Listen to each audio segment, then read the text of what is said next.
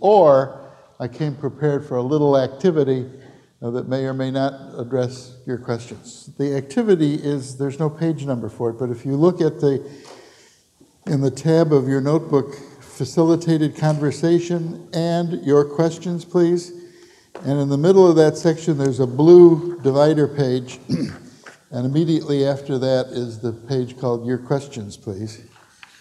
And the, at the bottom of that is the description of a uh, sort of schedule of what we'll do for the next 45 minutes, actually 40 minutes. the activity consists of a newspaper story that I was reading when it was time for me to come up with an activity. and one of our local retailers uh, conveniently came up with a, with a case. So I just took a newspaper story and reduced it to 17 points that were made in this newspaper story. American is the name of the retail store. So you read the 17 points, you ask the three questions there that are there on the bottom of the first page. Um,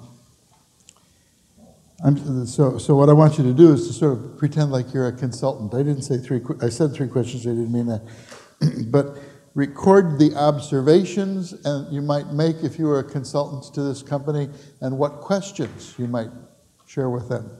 And there's room opposite the 17 points for you to record your comments. Now that's that's the other activity. The fact that I spent proportionately more time describing it doesn't mean I prefer that activity. You can do it on your own if you want to. so we're going to make a quick decision though. So, so the choices are first, uh, questions and answers. Second, do the activity. So, how many would prefer the first choice, questions and answers? You don't get more votes by waving your hand. It's, this is a, stir, stir, stir. no, no, no, no. The, that, the option of going to John's, you choose by getting up and walking out. The second choice is to do the activity. Okay. No. There's probably a Myers Briggs profile that describes your third option. I, I don't know. People ask me what my Myers Briggs profile is, and I've done it five or six times. And I say, my profile is the one that can't remember their profile. if they insist on it, I say, okay, I'm an ESPN. Which sounds close enough to the real thing. Okay, so let's, uh, the, the, the, the first option, people won.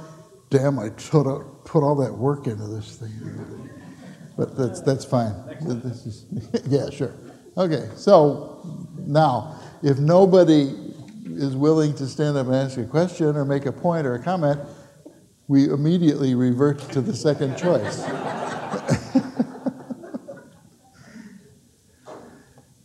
it's better since this is being recorded and uh, to walk up to a microphone and do it. There's one over that side, two in the middle, and none over there. Yes. In the facilitated conversation, um, I posed a, a, a, concern of mine to the group um, that I'm going through, and someone said that you were working right now on a book that had a chapter on uh, uh, process of, of, what happens during change and chaos and the, how things bottom out, but eventually they should get better. And, and I think we're going through change and we're kind of down in the bottom right now. And if you could talk some about um, what we might expect during some of those uh, change transformations. In, in, in, the speaker's room, I was sitting there when Barb Lawton was describing that to John Whitney, and I was fascinated by it. I, in the book, I talk.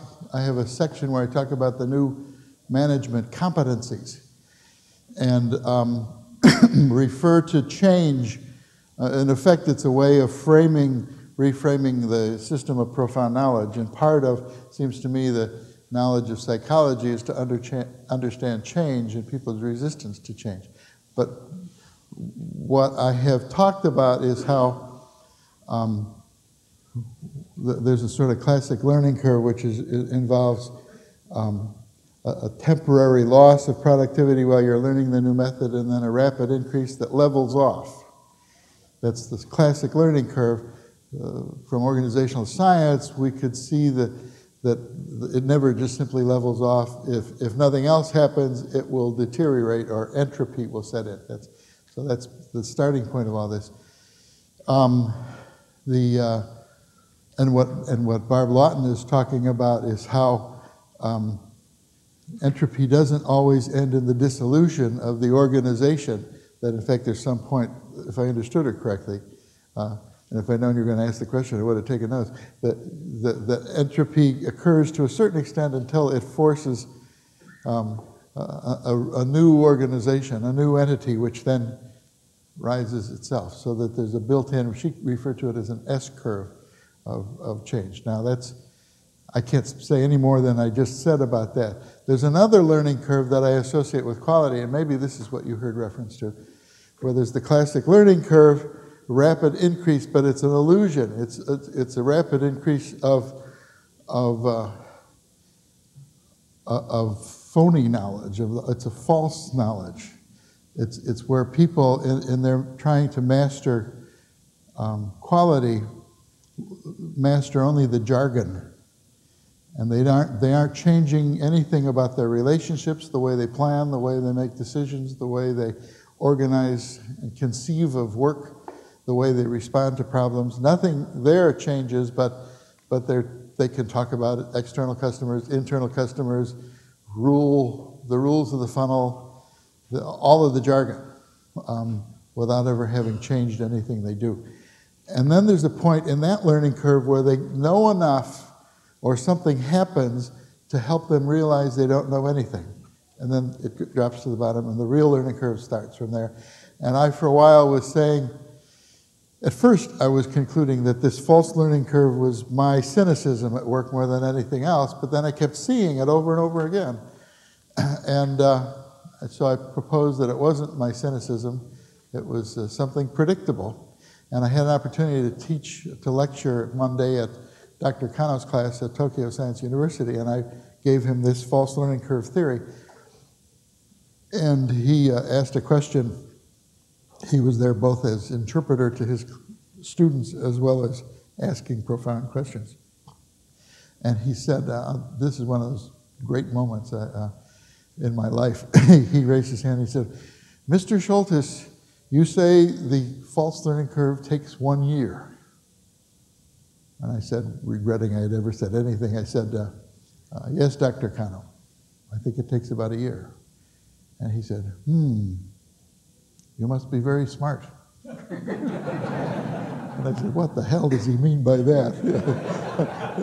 in this situation, there's no way out of it. And so, but then I just waited. He said, I think it takes three years. So that in effect, there's this period of time where people just don't get it. And it takes about three years before they start getting it, and the real learning curve takes place. And what that did for me was a, it had a very uh, powerful effect on me. For one thing, it confirmed that what I had been observing, uh, he had observed. And I wasn't sure. I still wasn't sure altogether that it wasn't me, more my cynicism than anything else. But the other thing that, that, um, that was powerful about, about that was that I was observing it in American managers and he was observing it in Japanese managers. And we tend to think that the Japanese have a gland that secretes this stuff, when, in fact, uh, they go through the same stupidity, what one of my, what one of my clients called common cause stupidity. We're all victims of common cause stupidity. And, and Dilbert says it best we're all morons, it's just those who are more morons rise in the hierarchical ranks. Not talking about cynicism. it's a long answer to your question, sorry. Yes? Peter, you talked about the chain reaction. If you mm-hmm. improve your products and processes, you'll reduce cost. My question involves the organizational climate. And I was wondering if you have found, as you work on improving your products and processes, that your climate improves, or do you have to do it in the other direction? I don't think you can do it in the other direction. My, my belief is there's, there's nothing like success to bring about a change in morale. And you could sit there and try to study morale and you'll never get anywhere. So I would much, if people complain about morale or the organizational climate, I just try to figure out some way to help them suspend their judgment and get to work on something. And when success starts happening, when they realize they can reduce the error rate or the cycle time or just start tickling customers to death, um, I'm trying to imagine a business that tickles customers. Never mind, that's just. but, but, but then all of a sudden, what they used to attribute to things that are squishy, like environment or culture or those kinds of things, will start disappearing. Why do you think that so much of the thrust and so much of the interventions have been on trying to work on morale and climate as opposed to trying to improve products and processes? I think it's a, I think it's a remnant of the old management system. It's a, the evidence of profound stupidity. That's too, too harsh. I, I think it's another version of train wreck management. You know, we didn't achieve our purpose. We, we must do something, improve our people's morale or climate or stuff like that. It's not saying let's make better products and do better services and improve the processes by which we do those. Let's look for something ethereal. I think even perhaps worse than that, it's a stage of death. That Elisabeth Kubler-Ross wrote The Stages of Death. And the first stage of death is denial, and then it's uh, anger, and then bargaining, and, um, and then um, something else, and then something else. if I you're going to ask that question, I would have remembered the stages of death. Denial, anger, bargaining. Um, pardon me? Rage is part of anger. It's the last one is acceptance, and then there's this one, this other. It starts with a D. Now I'll be distracted all the time. So I'll have to be distracted by tickling your customers to death in this other stage of death. It doesn't matter. The first stage of death is denial. And I have observed a wide variety of forms of denial. Uh, things like you've all heard, you know, that it won't work in our industry, it won't work with American unions, it won't work under these circumstances. You know, maybe it's okay with them, but not for us. Uh, you know, but another form of denial, I think, is to trivialize it. And I fear that this saying, well, we got to work on the climate, is a way of trivializing, trivializing quality. You want to jump up and ask another question, Mark? Oops, somebody beat you to it.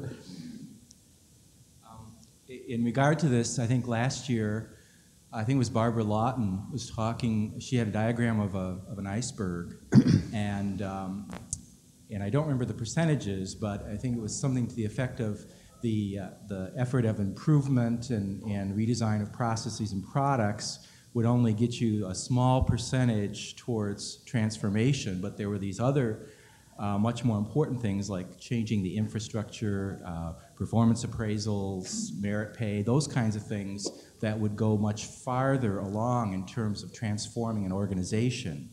And I'm, I'm wondering if that's what this lady Is that was what you were referring saying, to. And Barb, or not? Well, I was, well, I- uh, the, Barb's question, if I recall, talk, was, was implying at least the early stages. What do you get started? Do you start working on the climate? Do you start working on the, these other things? And my opinion is you start with the other things.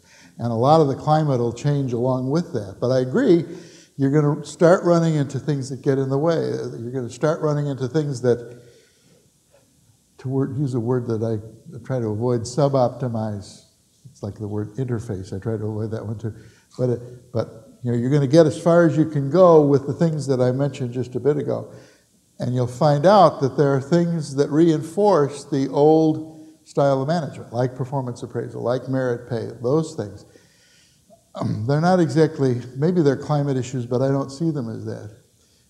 Here's the way I look at it you, you're going to have a certain number of problems in your organization. Why do you have those problems? I think they are the direct result of a certain set of interventions performance appraisal, merit pay, those things. The problems are poor morale, turnover, and those other things. You can make improvements and help people start feeling better and more proud of their work, but you won't get rid of those other problems, and you have to get to them eventually. Now, why do we have programs like performance appraisal, merit pay, reward programs, those things?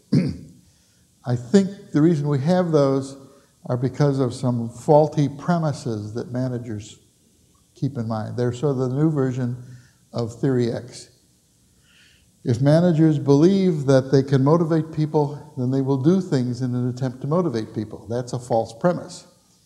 If managers believe that people are withholding a certain amount of work, waiting for it to be bribed out of them, then they will do things like merit pay programs, um, incentive pay programs, to bribe more work out of people who are obviously holding back. I mean, nobody would say out loud that premise, but that's another false premise. If people believe that you can improve your organization one individual at a time and, and you can improve the organization by holding individuals accountable for measurable goals, then you'll build an organization around that premise. It's a false premise. And, and so forth. Um, and if they believe it's a manager's job to motivate and control people, you'll build it. So there's a bunch of false premises. As long as those false premises remain in place, then you'll have such programs as performance appraisal, merit pay, et cetera, et cetera. And as long as that, those exist, you'll have such things as demoralization and turnover, high turnover, and problems such as that. Dissemblance as well. I mean, people, people fudging reality in order to look better. let me, let me um, you can sit down. I just, uh, you've got me started. My son came home from work. This is just this past week. he works for a moving company and he's on a three person crew on a truck. And the manager pulled over, for God's sake, don't tell this to anybody who owns a moving company in Madison. My son will probably get fired. He said, uh, We got a systems problem at work. And I said, Oh, what's going on, Ben? He said, Well, the owner of the company came and told us that profits aren't large enough. I said, Yeah. He said, So what he's doing in order to increase profits is he's removing one piece of equipment from each truck. We used to have two dollies, now we've got one dolly.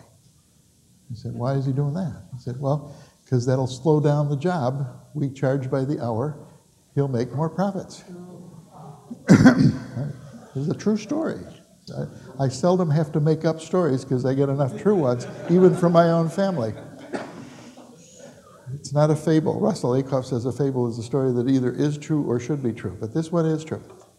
So that, you know, and it's now now in an attempt to try to gerrymander the bottom line, he's creating an even more cynical workforce than he had before. My son and his crew's response was to steal another dolly from someplace where they weren't being used so that they could good, do good service for the customers Three man crew only needs two dollies. And when they finished their work, their work at the end of the day, they took their dolly and hid it someplace. they were more dedicated to serving the customer than the owner of the company. But, the, but, but what it's, it's a reinforcement of what I said before is this system of profound problems, I call it. It's, it's, it's when you have certain premises, and when you act on those false premises, you create policies which create demoralization in the workforce. So, in answer to your, your larger question of climate and how do you approach those things, one would hope that over, let's say in this moving company, one would hope that they learn how to improve things, make things more efficient, maybe be able to get the work done so quickly that they'll increase business, not have to fool around with the bottom line, have a, an enthusiastic workforce that'll help become some of your best salespeople and, um, and increase the business that way. But what the effect that this one single policy having is to move things in the opposite direction. And, and it's why I would start with them talking about let's talk to the customers and get some data and some feedback. I said, I asked my son, how come he doesn't just raise his prices? And he said, well, his, his slogan is, we're the cheapest movers in town. I said, well, if he's the cheapest movers in town, how does he justify increasing the number of hours it takes to do a job? Said, I don't know, I don't know, I'm just telling you what I heard. it's not the, it's only the cheapest if you look at the hourly rate.